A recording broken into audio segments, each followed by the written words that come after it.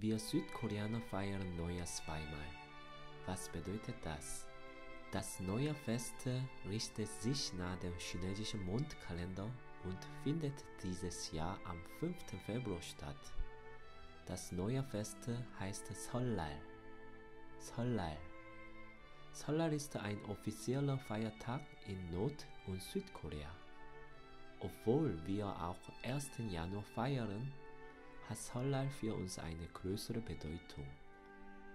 Seollal ist immer noch der wichtigste Feiertag in unserer Gesellschaft.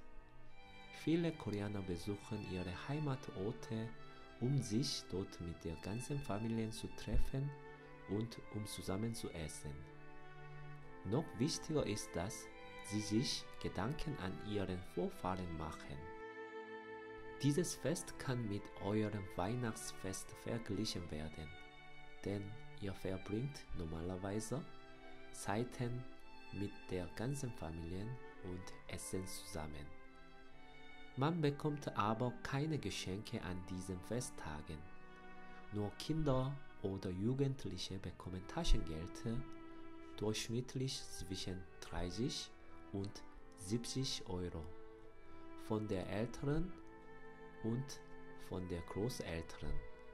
Wir lernen heute Begrüßungsform auf Koreanisch zum neuen Jahr. Man kann begrüßen überall, zum Beispiel beim Arbeitsplatz oder in der Schule oder im Geschäft. Es lautet 새해 복 많이 받으세요. 새해 복 많이 받으세요. Also, ich wünsche euch allen einen guten Rutsch und ein frohes neues Jahr. 새해 복 많이 받으세요.